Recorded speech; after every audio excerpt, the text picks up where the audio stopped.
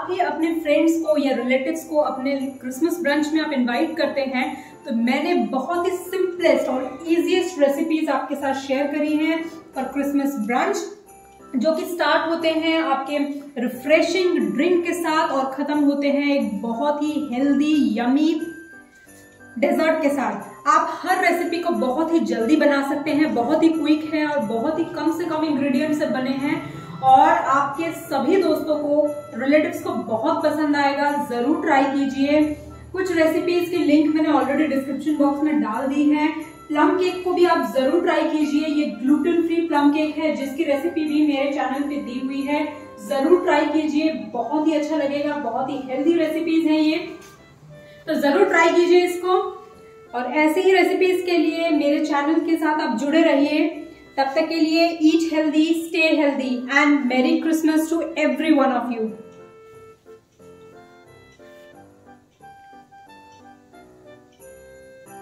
start करते हैं हमारी पहली रेसिपी जो है वेलकम ड्रिंक और इसका नाम है पोमोग्रेनेट मिंट शॉट बहुत ही ईजीएस्ट रेसिपी है और बहुत ही पेपी फ्लेवर है और ये बहुत ही अच्छा एक वेलकम ड्रिंक की तरह आप इसको यूज़ कर सकते हैं। तो चलिए रेसिपी की तरफ़ आगे हैंड जूसर ही ले लिया है। इसमें जनरली मैं ऑरेंज का जूस निकालती हूँ।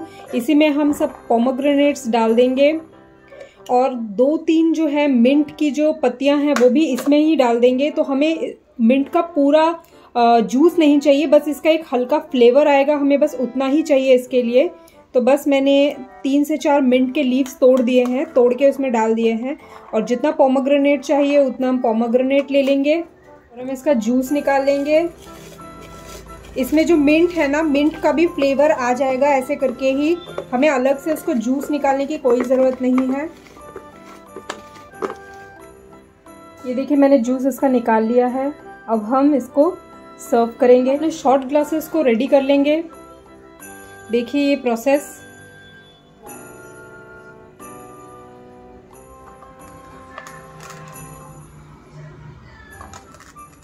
ये रॉक सॉल्ट है, आप चाहे तो पिंक सॉल्ट या आपका जो हमारा जो काला नमक है वो भी यूज़ कर सकते हैं, उसमें भी बहुत अच्छा जाएगा ये।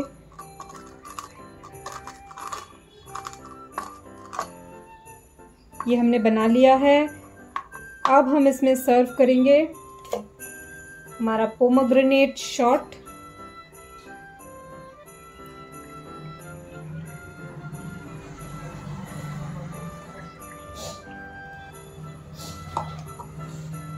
बस हल्का सा इसके ऊपर हम लोग डालेंगे भुना हुआ जीरा का पाउडर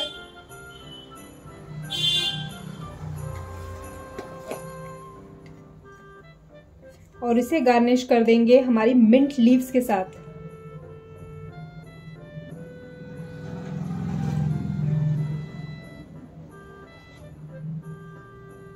रेडी है हमारी welcome drink pomegranate mint shot अब हम नेक्स्ट कोर्स की तरफ़ बढ़ते हैं। मेरी नेक्स्ट रेसिपी है रेड सूप उसकी तैयारी करते हैं।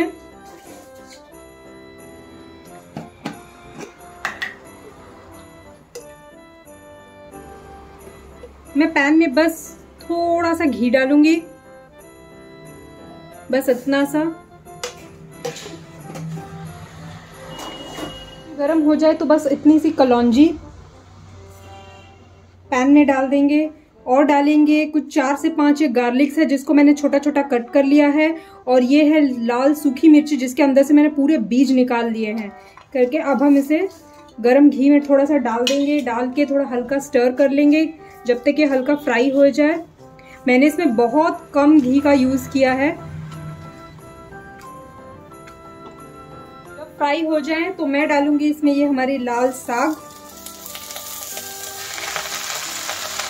इसे मैंने दो इसको अच्छे से मैंने चॉप कर लिया है, रफली चॉप किया है। वॉश करके अच्छे से रफली चॉप कर लिया है।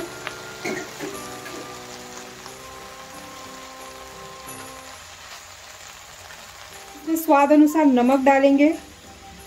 नमक डाल के थोड़ा मिक्स करके हम इसे ढक देंगे। जब तक ये पूरा गल ना जाए। इसे मीडियम फ्लेम में पकाएँगे ताकि अपना पानी खुद छोड़े। ये साग के सब कुछ इसमें गल चुका है। अब हम इसे कर लेंगे ब्लेंड और हाँ इसमें जो ये चिली जो था, उसे हम निकाल लेंगे। से पाँच मिनट हो गए हैं और ये साग ने पूरा पानी छोड़ दिया है।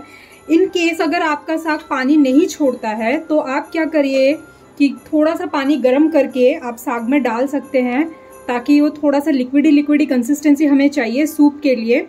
ये सारा कंटेंट मिक्सी में ट्रांसफ़र कर दिया है। अब हम इसे कर लेंगे ब्लेंड मैंने पूरे इसको ब्लेंड कर दिया है। अब मैं इसे छान लूँगी। सूप रेडी है। इसे मैंने गार्निश किया है मिंट लीव से और थोड़ी सी सीजनिंग डाली है पास्ता सीजनिंग डाली है इसके ऊपर और मैंने डाला है थोड़े से सफ़ेद तिल। इसे ज़रूर ट्राई करें विंटर्स की बहुत अच्छी रेसिपी भी है ये और कितनी क्विक क्विक रेसिपी है सूप और बहुत हेल्दी रेसिपी है। नेक्स्ट रेसिपी है ग्रिल्ड चिकन विद वेजिटेबल्स तो इसे बनाने के लिए इसको मैंने कल ही मैरिनेट करके रख के फ्रिज में डाल दिया था। अगर आपके पास टाइम नहीं है तो आप कम से कम तीन घंटे पहले मैरिनेट करके रखिए। उसके बाद हम इसे ग्रिल करेंगे। ग्रिलर को लगा दिया है। गर्म होने के लिए इसके ऊपर मैं थोड़ा सा घी ड्रिजल कर लूँगी। आप चाहें तो ऑलिव ऑयल यूज़ कर सकते हैं मस्टर्ड ऑयल भी आप यूज़ कर सकते हैं। आपको जो सही लगे, आप उसी को यूज़ कर सकते हैं। अब जब ये हल्का गर्म हो जाए तो मैं डालूँगी इसमें अपने चिकन गर्म हो गया है, अब मैं एक एक करके डाल दूँगी।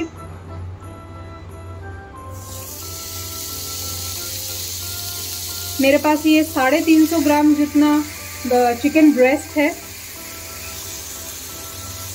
हम इसे पूरे मीडियम फ्लेम में पकाएँगे ताकि अच्छे से पक जाए।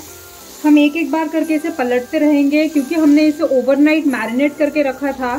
तो इसे हमें बहुत ज़्यादा देर तक पकाने की ज़रूरत भी नहीं पड़ेगी, बस। इसे अच्छे से हम इसे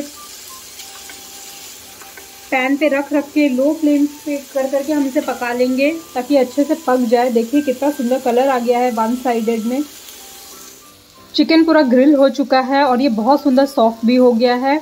और अब हम इसे दे निकाल लेंगे। देखिए कितना सुंदर बेहतरीन सा इसमें कलर आया है।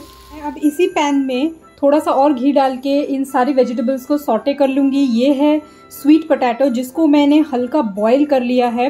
इसको थोड़ा इसमें क्रंच है ये बिल्कुल भी सॉफ्ट बॉयल नहीं है। इसको इतना ही मैंने बॉयल किया है कि इसको आप काट के खा सकें। और ये है आपका जो मैंने है इसे ओपन बॉईल किया है मैंने इसे प्रेशर कुक नहीं किया है।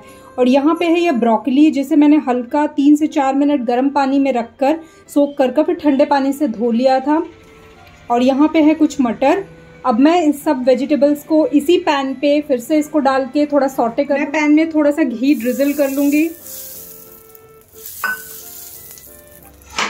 और सारे वेजिटेबल्स इसमें एक एक करके डाल सारे वेजिटेबल्स को पैन पे एडजस्ट कर लिया है। हम बस इसे सिर्फ़ थोड़ा टॉस टॉस करेंगे इसमें। आगे पीछे थोड़ा सा इसको हल्का ग्रिल कर लेंगे, फिर हम इसे निकाल लेंगे। वेजिटेबल्स हल्के सोटे भी हो गए हैं और इसमें एक ब्यूटीफुल सा कलर भी आ गया है। अब हम इसे निकाल लेंगे। ये वेजिटेबल्स ऑलरेडी पकी ही हुई है। मैंने इसे हल्का बॉयल तो कर ही लिया था। बस हमें इसको पैन में डालकर थोड़ा सा सोटे कर लेना था, इसलिए ज़्यादा करने की कोई ज़रूरत नहीं है।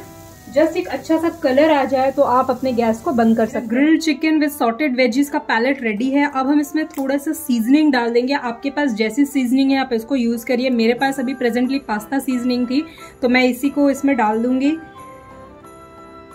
अब हम बनाएँगे हमस मैं बहुत ही इजी तरीके से इस हमस की रेसिपी को बनाऊँगी। और इसके लिए मुझे सबसे पहले मैंने पैन को गर्म करने के लिए डाल दिया है और ये है सफ़ेद तिल। इसको मैं पहले हल्का रोस्ट कर लूँगी ब्राउन होने तक। ये हल्का हल्का ब्राउन हो गया है। अब मैं इसे उतार लूँगी। मैंने इसमें चिक पीस को भी डाल दिया है बॉइल्ड चिक पीस और जो मैंने तिल जो है रोस्ट करके रखे थे, मैंने दोनों को एक साथ डाल दिया। अब हम दोनों इसके साथ एक साथ ही ब्लेंड करेंगे। मैंने चिक पीस और तिल को अच्छे से ब्लेंड कर लिया है। इसकी कंसिस्टेंसी देखिए, बिल्कुल ऐसी आई है। चलिए इसकी प्लेटिंग करते हैं। मैंने यहाँ थोड़ा सा देसी घी गरम कर लिया है। अब हम इस घी को इसके ऊपर ड्रिजल कर लेंगे। रेडी है ये हमस की रेसिपी एक बहुत ही डिलीशियस सा डेजर्ट जो कि खाने के लिए आप उंगलियाँ चाटते रह जाएँगे और ये एकदम गिल्ट फ्री डेजर्ट है, जितना चाहे खाइए और कैलोरीज की चिंता बिल्कुल भी मत कीजिए। मैंने लिया है ये एक कप जितना रागी का आटा।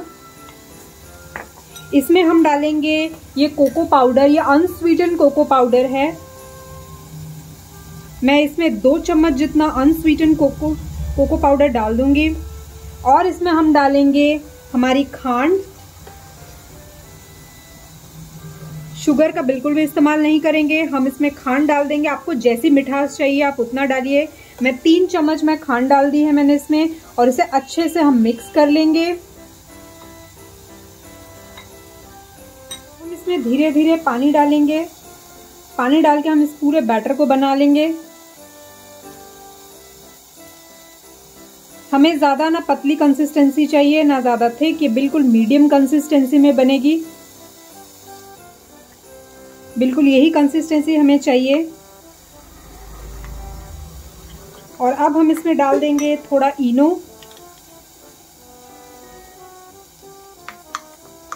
डाल के इसे मिक्स करके हम पाँच मिनट इसे रेस्ट होने देंगे। मैं इस इस पूरे बैटर को डालूँगी अप्पे मेकर में। छोटे छोटे बॉल्स बना लेंगे। तो मैं कर लेती हूँ गैस को ऑन और इसे थोड़ा सा ग्रीस कर लूँगी घी से। मैंने पैन में घी को ग्रीस कर लिया है। अब मैं अपना पूरा बैटर जो है इसमें डालूँगी। मैंने पूरे के पूरे बैटर को इसमें फिक्स कर दिया है। अब हम इसे धीरे धीरे पकाएँगे। लो फ्लेम में इसको पकाएँगे, नहीं तो ये जल जाएगा। फिर उसके बाद फिर एक बार फ्लिप कर देंगे।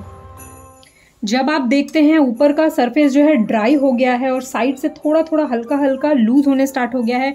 इसका मतलब है it's time to flip the appe अब हम रागी अप्पे के लिए एक बेस बना लेंगे। इसके लिए है मेरे पास ये हंग कर्ड जिसको मैंने मैंने पूरा का पूरा एक कर्ड था।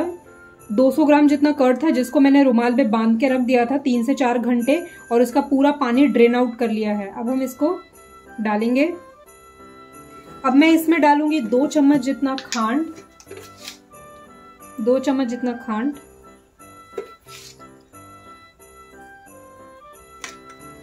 और ये मैंने थोड़ा पानी में आप दूध में या पानी में किसी में भी थोड़ा केसर को भिगो के रखा था, दो घंटा पहले, उसे मैं इसमें डाल दूँगी। डाल के हम अच्छे से इसे मिक्स कर लेंगे। मैंने इसे अच्छे से फेंट लिया है, ये बहुत अच्छा एक बेस तैयार हो गया है, अब हम इसे सर्व करेंगे। तो ये है अप्पे का बोल, एक डेजर्ट। बहुत टेस्टी है यमी है रेसिपी और आपने देखा है one of the quickest dessert है ये। ज़रूर ट्राई कीजिए इस हेल्दी डेजर्ट को।